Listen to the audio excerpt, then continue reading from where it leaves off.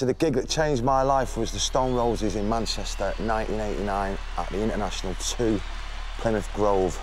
I was 16, it was a week. I think that album had just come out or was coming out that week.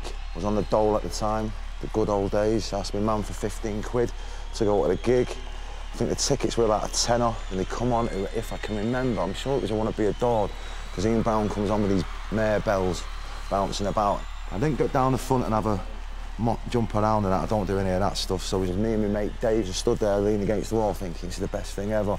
There was no barriers at the concerts then, you know what I mean? So it was like all the kids were like sitting on the stage, you know what I mean? And it was about the look as well, you know what I mean? There was a lot of bands in Manchester that looked a little bit, a bit ropey, you know what I mean? But they had everything. They had the tunes, the guitars went with the clothes. They felt like they were speaking, they were normal, you know what I mean? They just looked like lads, you know what I mean? Like their mates that we play football with.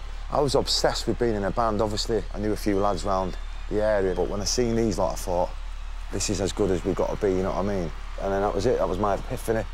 After the gig, straight back to my mum's, and I was just like, that was it. I said to her, I'm going to join a band. She's like, ah, well, you better, because you owe me 15 quid. And that was it. That was, that's the one that changed my life.